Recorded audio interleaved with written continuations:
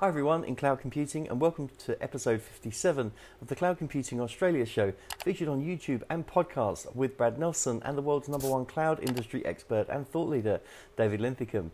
This show is sponsored by Nelson Hilliard, cloud computing recruitment specialists placing great people in cloud, IoT, fintech and AI. In this week's show, we will be talking about that AWS is the latest of only six providers that have passed a series of requirements that's been set by the Australian government to handle classified material. 42 of its services have been certified up to protected, including storage, network, database, security, analytics, management, and governance. The government has not yet allowed for any provider to host material classified above protected. Hi, Dave. It's great to have you back on the Australia show this week. Yeah, it's great to be back. And I'm noticing uh, there's a big difference in semantics between uh, how government talks about classified information versus how the Australian government talks about classified information. It's very interesting. Protected versus top secret. Yeah, it truly is. Uh, th- there is some interesting points in this show. I know we're going to come across them, and there, there's, there's some sim- similarities and some, some ones that, where it's just not quite aligned. You're absolutely right. So, look, I, I guess the opening question is: Do you see Australia allowing other public cloud providers the same privileges?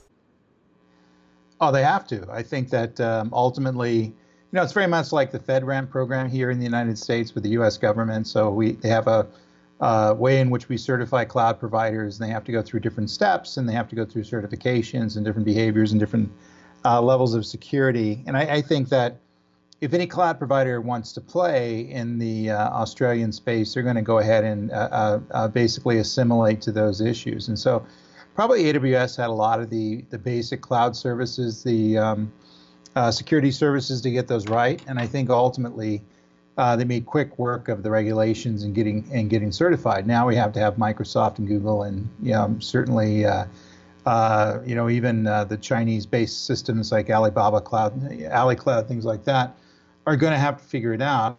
One thing you don't want is uh, one single provider who's the only one that's compliant. You know, it's playing the game because you want different providers with different technologies that they provide, different price points, and different ways of supporting the market. And so just having AWS as the only one who's certified to deal with quote unquote protected information in Australia isn't going to allow the Australians to scale and get to these very diverse best of breed solutions. And so you'll probably see Google follow and Microsoft follow, probably Microsoft before Google, but it's going to correct itself. You'll, you'll wait and see. As long as there's money to be made, people are going to uh, change their technology to find the capabilities of making that money. Yeah, I think you've hit the nail on the head. As long as there's money to be made, someone's someone somewhere is uh, inevitably going to win the large piece of the pie. And it, it brings us nicely, actually, to a, a, thing that's happening in the US at the moment. There's there's quite a, a fight going on, as it were, but for the uh, the business of the Pentagon. I think it's some sort of like a 10 billion uh, joint enterprise defense infrastructure project, which is uh, aptly named JEDI. So there must be some mind games being going. I think there's some mind games being played between uh, what's it, uh, Oracle at the the Oracle at the moment. So Oracle's playing the JEDI games with AWS. Just, you couldn't write it any better, could you?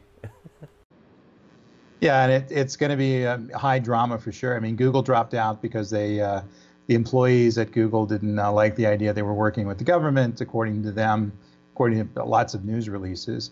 Uh, AWS is obviously the big contender. They're the big, biggest in the government space. They have secure-based systems. They support the CIA, with the CIA's only private cloud. And um, ultimately, the other cloud providers are going to look and nip at the heels. And if they're compliant and they're lower cost, then we're going to see a court battle carry on for two years. One, one of the things that used to frustrate me like crazy when I worked in the government space, it just took so long to get things done. And so it takes two years to get a proposal out there, a year to build the technology, and then it takes two years to go through the protests and go through the court battles. Uh, I don't know how many times it was deposed and different uh, contractual things uh, with protests that go on in the DC, in the DC area, but that's just kind of the way it is. And I think this is kind of the mother of all uh, cloud contracts. It may be the biggest in the world so far. You know, so that said, um, the the legal battles, no matter who is right and who is wrong, are just going to carry things out for years to years. It's uh, you know, probably a good reason why um, you know it's very difficult to do business with any government. Yeah, I know it just takes forever, and I think it doesn't help as well because Oracle are on the case of AWS, uh, filing lawsuits, uh, you know, claiming that you know everyone's weighing towards AWS, and I mean everyone's got to throw their toys out the pram at some point, haven't they? Yeah, everything's protested uh, in those. I mean the the the amount of uh, legal battles that carry on in the DC area just around these uh, government contracts that are awarded to somebody else. And there's there's a lot of people who are just as a business practice, all they do is protest.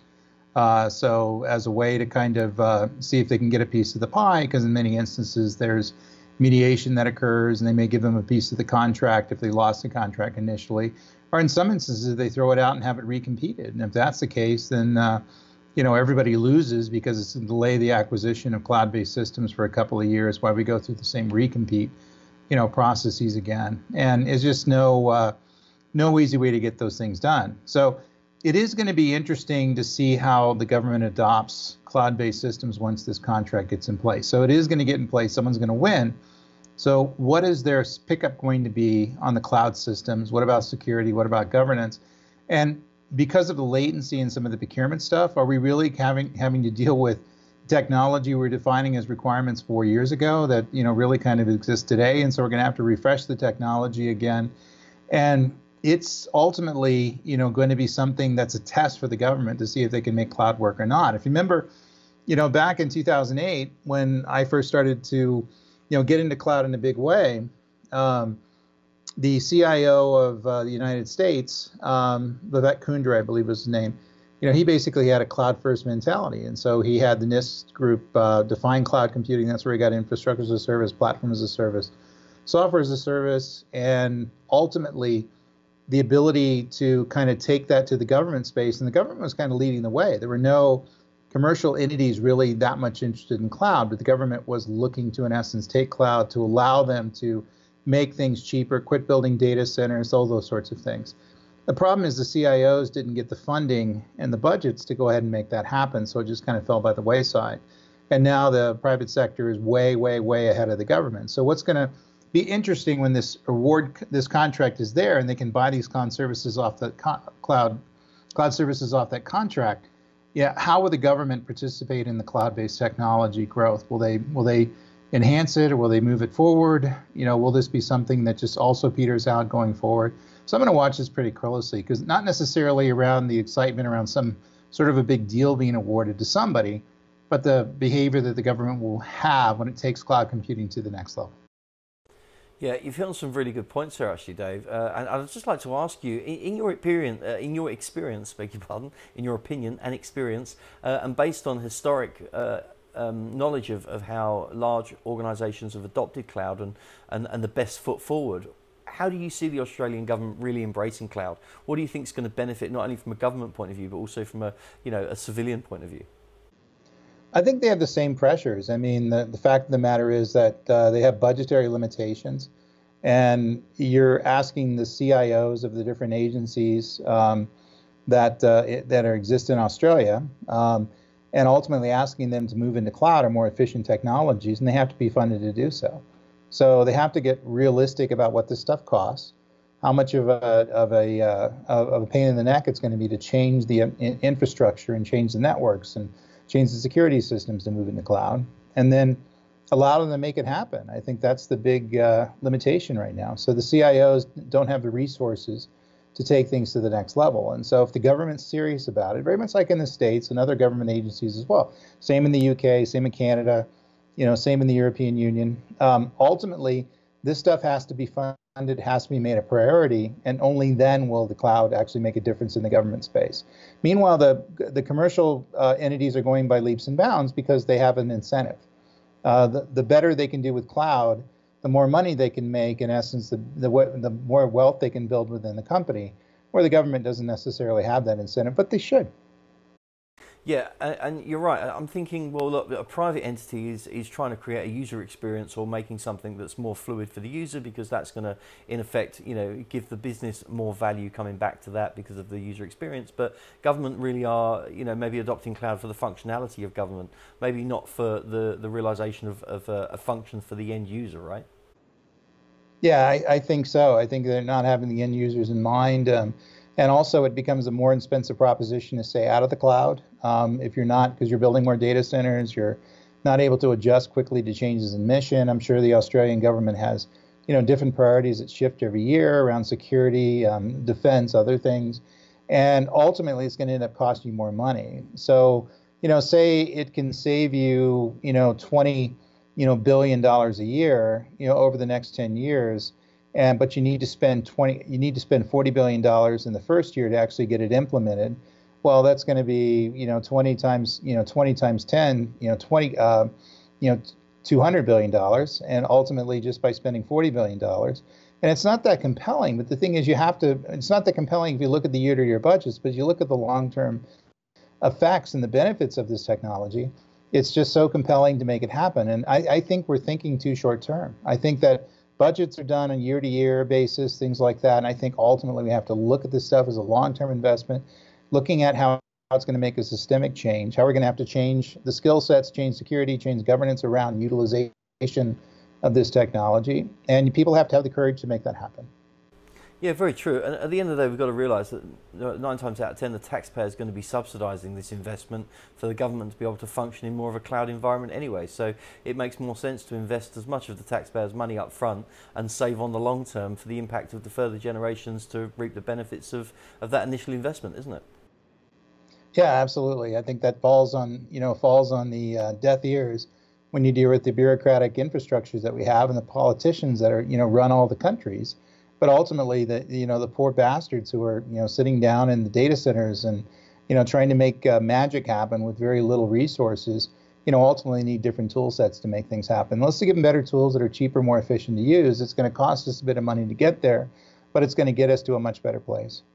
Yeah so very true and at least with aws there's a starting point and and it's it's got a price point that is you know, able to sort of save on budgets. You would have thought anyway. Hence why I think the government's, uh, you know, choosing AWS over anyone else for not only its uh, capabilities but also from a, a, potential price point as well. But it moves us on nicely to your uh, top tips, Dave. If you'd be happy to share those with us this week, that'd be great. Yeah, first is just because the government says it's okay doesn't mean it is. So, you know, one of these things about going through these uh, frameworks and validations, and you can put any government above. I, I've seen uh, all the governments make mistakes um, ultimately uh, there's huge latency w- between when they write these regulations and the technology that's out there to make it happen. And so, you know, the first, you know, regulations around cloud computing based security, for example, didn't take into account identity access management and encryption. It was kind of user ID, password, role based security, traditional stuff. So you have to understand that you need to put your own defense in place, uh, even beyond some of the government regulations there. They're ultimately, they're there to protect you, but they were there to protect you with technology that was four years old. And uh, you have to update it yourself and basically take it uh, take advantage of the technology as you see fit. Uh, focus on your own security. That's a big thing. Um, you know, ultimately, this is not about systemic security for the government. This is about security at the agency level and at the uh, the function level and even at the person level and the system level. And so you're responsible for that technology. It's not something, you're waiting for the government to basically adjust itself to protect the data, um, you're going to get in trouble very quickly. So this is about your responsibility. And keep monitoring in mind. I think ultimately, you know, any kind of security-based systems are proactive in nature because they're dealing with monitoring. So if you look at, you know, some of the better security models out there, they always have proactive-based monitoring. Even some AI-based systems that are sitting on top of it that can detect breach, breach warnings, breach attacks, can automatically self-heal if people get into some sort of a, uh, a server. You know, uh, uh, they can automatically shut down that server and protect it uh, because they know the breach is there, and that's done through proactive, pro, proactive automated monitoring, monitoring that people are in essence, um, you know, not running. So we're letting the systems kind of protect themselves. Great top tips there, Dave. Uh, really appreciate that. It's been a, very interesting show, and thanks for being part of the Australia show this week. Yeah, keep things uh, secure in Australia. Good luck. Good luck all round. Good luck for the rest of the world with that one. Uh, well, look, thanks everyone for watching the Australia show or listening to the Australia show. Uh, you can get Dave on Twitter, which is at David Linthicum. I'm on Twitter, which is at Nelson underscore Hilliard. Make sure you like, subscribe, and comment, uh, and you know, be a part of our cloud tribe that we've got going on as well on Twitter, Facebook, Instagram. We're all over the place on social media. Uh, we're also on um, iTunes and Stitcher for the podcast, so you can listen to us as well while uh, on your mobile device, which is all good. Um, and yeah, thanks for all your support. We really appreciate that. We've got some great blogs as well, uh, which you can check. Or there's lots of links in the description box below. So uh, click away and, and, find out what's going on uh, behind the scenes as well with Nelson Hilliard. So again, thanks for watching, and until next week.